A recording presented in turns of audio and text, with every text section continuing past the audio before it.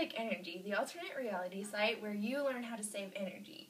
I'm Abby, the creator. Have you ever wondered how much energy you use in everyday life? Well, this website can help you track how much energy you're saving.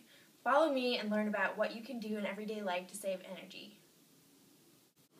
Don't forget to turn off lights before you leave the house. Do you know putting your washer settings on cold can save 75% energy while you're doing laundry? Once you complete the energy saving task in real life, post it as your status update to your profile.